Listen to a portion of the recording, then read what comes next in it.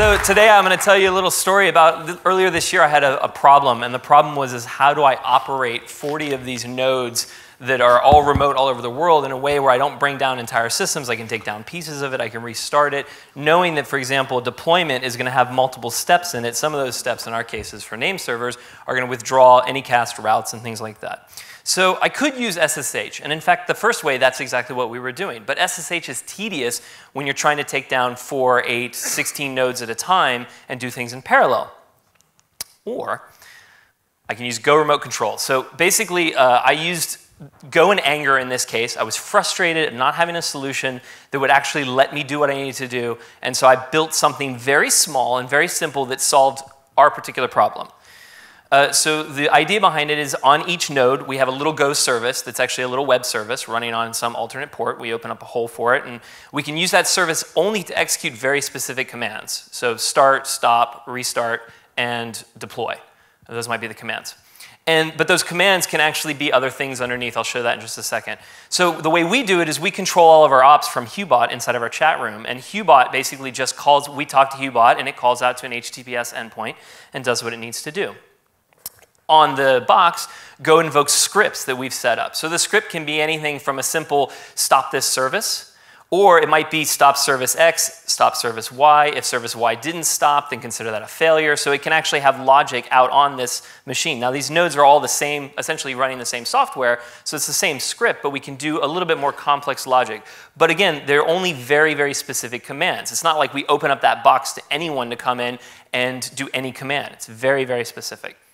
So here might be an example of the workflow. I'm on my bot. I say, OK, deploy name server SRV1 in IAD. So that's a serve one side. That's an entire side of, of a cluster. So it's, in this case, it's four, four nodes.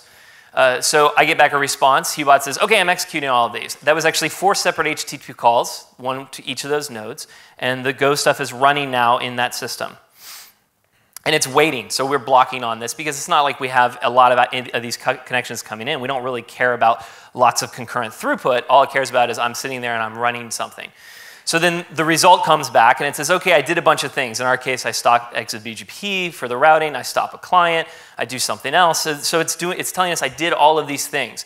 And then it goes through and it does the, the update, for example, in this case, restarts everything up, takes the, puts the service back into a monitoring uh, service as well, so we can make sure that we get notified if it goes down, and that's it. And I can do that with one command from our bot, which simplifies things greatly for us. So this is a little bit of CoffeeScript code that we use inside the bot to make things work. Um, all the slides will be public afterwards, but it's pretty straightforward. It just does the HTTP action that we need it to do. Uh, this is how the robot does it. It says, oh, I, I handle this particular deploy command. Um, this is a bit of Ruby. You don't really care, but the point is it's more of a complex script. This is the script to do a deploy. Um, and it can actually depend on other scripts as well, the stop, start, and status script. But we can build up these, these really useful little scripts to do these very specific commands. And it's nice because it just it makes it really easy to manage a bunch of nodes. And once we've set it up, I never worry about making a mistake while I'm out on that box. So for example, I don't worry that I didn't take it out of the monitoring node and we're going to get a bunch of alerts.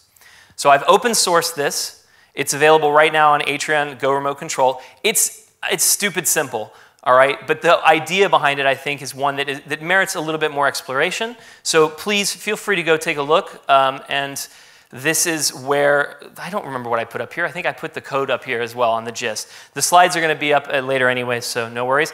Uh, thank you very much. That's it.